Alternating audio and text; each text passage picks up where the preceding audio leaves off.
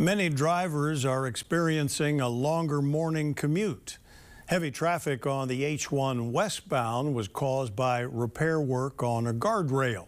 But the DOT also has several other projects this week, advising drivers to allow plenty of extra time. Max Rodriguez reports. It's a busy day on the road. Drivers saying they are bumping into roadwork at every turn. There's always construction on the road or wherever.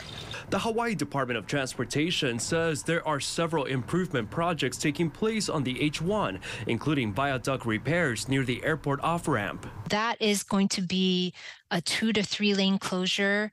Um, the next one for that it would be this weekend, uh, starting this weekend from Friday night into Monday morning. Tuesday morning, drivers hitting a rough patch of traffic when reaching Middle Street. Safety repairs were needed to the guardrail. Traffic bumper to bumper for a few hours it took people about um, 55 minutes to get through the area.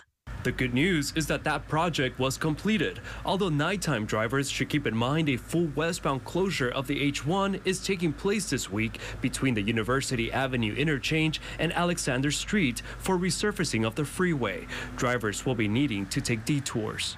Got onto Beretania and Beretania was backed up all the way until I got to um, uh, Queen, Queens Hospital side and I took the freeway from there.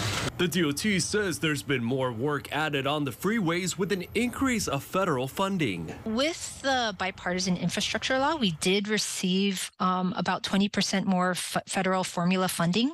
So we have been able to do more projects.